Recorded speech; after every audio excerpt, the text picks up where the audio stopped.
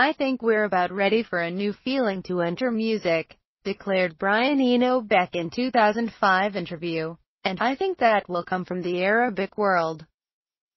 He predicted that the influence of Arabic music would parallel how the blues completely suffused the music of the early 1960s, woke it up and got it out of Cliff Richard, and made it kind of dirtier and rougher and more lively and sexy. It's been 10 years since Eno gave that interview, but most people in the United States have still not added Amr Diab to their playlists. Or Samira Said. Or Shireen.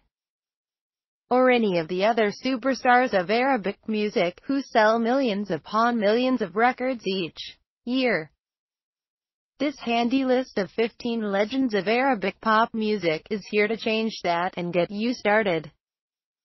The next time that you roll up to a party, you'll be blasting Gamalo after Bitch Better Have My Money.